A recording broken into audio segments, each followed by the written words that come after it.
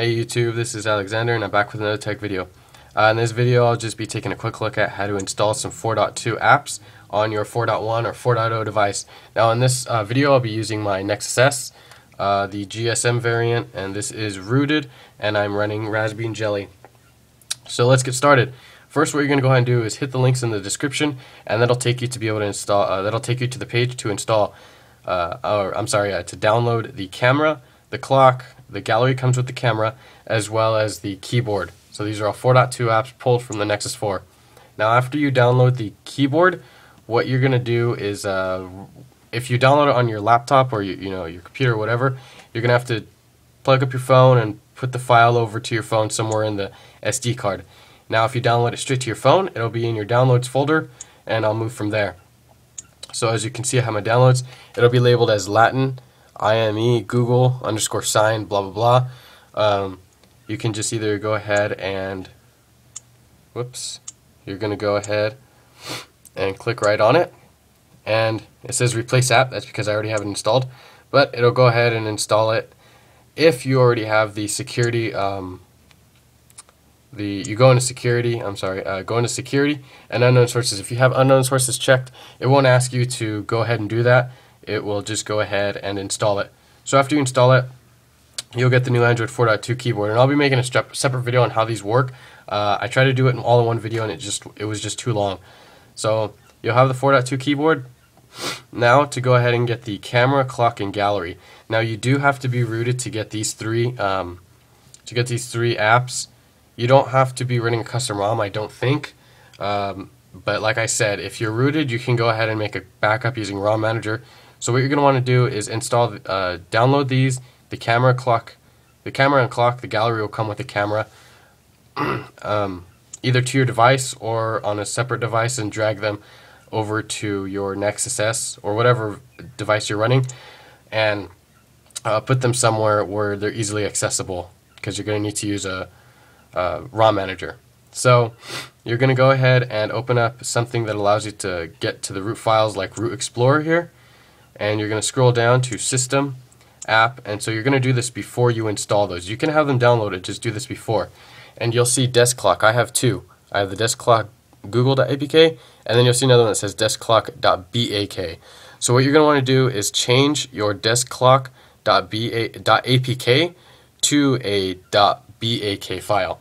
So what you're going to do first is you're going to want to make sure that says Mount RO, and then long press, rename, and you're just going to go ahead and rename that to deskclock.bak um, and then press OK. So this will take your um, this will take your clock away, which is fine though because you still have it. All you need to do is rename it. This will just will what that does is prevent issues from the new clock being installed um, while still maintaining the old clock. And then same thing with gallery google.apk. You're going to need to change that to gallery google.bak. So all you're doing is changing the extension. Um, and then you're good to go from there. All you need to do, you have everything good. Now when you back out, you should see that your camera, gallery, and clock are all missing. Don't be alarmed. That's fine. Like I said, make a backup, and all you need to do is rename those files, and they'll still be there. Now you just reboot and recovery using your favorite um, custom recovery. Uh, use ROM Manager. I believe, I think it's called TWRP is available as well.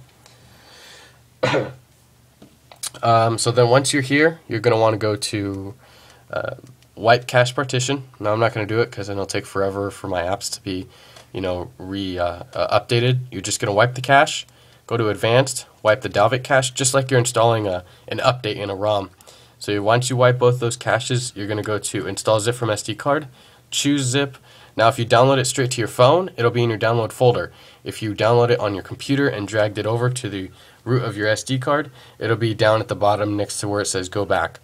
So I'm just going to go up to download since I download straight to my phone and you'll see the file 4.2 camera underscore T0 4.zip. Now you're going to go ahead and hit the search button to either execute the install or the power button uh, on the right side. After you finish that, you're going to go ahead and see, you're going to scroll down to where it says Android 4.2 clock uh, gnu fabio.zip and install that. So once you've installed that, that should go smoothly. you're just going to go back, go back, and reboot system now. Excuse me. So after you've uh, installed both of those, everything should be good to go. You should have the new uh, Android 4.2 um, clock. You should have the new Android 4.2 camera, gallery, and keyboard. Now I will be making a separate video to just go over those briefly. Um, if you have any questions or something went wrong during the installation process, be sure to just leave a comment down below. And if you are rooted and you installed some uh, the new um, the new files, the new system apps, you should have uh, been backed up, like I said.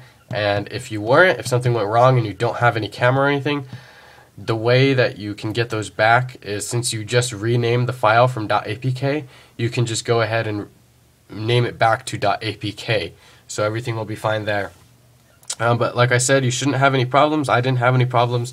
Uh, links are down below. If you like this video, go ahead and give me a like, subscribe for more, and uh, if you aren't already, check me out on Google Plus. Follow me on Twitter, and uh, I will be having another giveaway coming up. Just stay tuned for that, as well as my uh, quick overview of the camera, gallery, uh, keyboard, and clock review. Thanks for watching, and I'll catch you in the next video.